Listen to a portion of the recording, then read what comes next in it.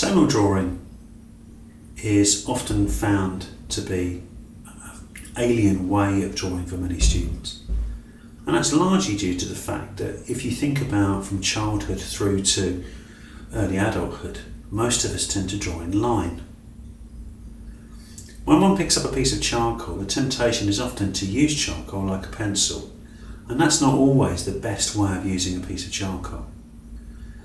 Far too often, too much pressure is exerted on the end of the charcoal, and that can cause the charcoal to snap and break, which is one of the reasons why I tend to prefer to use heavier charcoal, in this instance, scene painter's charcoal.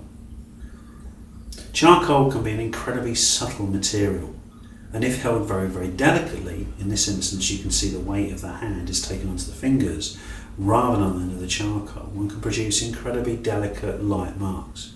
So one can feel one way around the surface of the paper and gradually by adding pressure make the tones darker.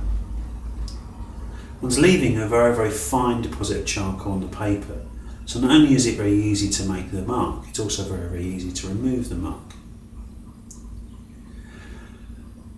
When we think about linear drawing, we're tending to delineate between one object and the next object. In tonal drawing, we're thinking about light. One of the beautiful things about charcoal drawing, in this instance we can see it quite clearly, is that if the drawing is going wrong, it's very, very easy to rub it out and rework it. By covering the paper with charcoal, we can now start to work in reverse, using the eraser to rub away charcoal to reveal the lines. The rubber is a really, really key tool in tonal drawing as well. Also this drawing uses a stump, which is a rather stiff rolled up piece of paper, which enables one to move the charcoal around to produce more subtle greys than we can be done with the finger. Sometimes a little bit of grease on the end of the finger can cause these tones to smudge and the stump prevents you from having that. So the drawing can be added to and taken away quite easily, and it's very easy to move between those two things of adding and taking away until one finds the drawing that one wants to actually make at the end.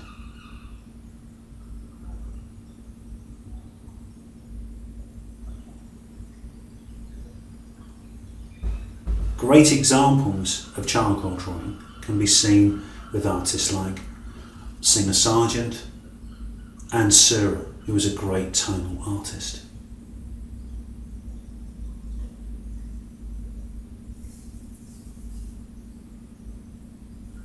Especially in this latter stages, it's quite advantageous to shape the rubber by cutting it with a knife. One can produce very, very fine points and edges. And it's also useful if one acquires a pencil rubber for those very, very small key points of light.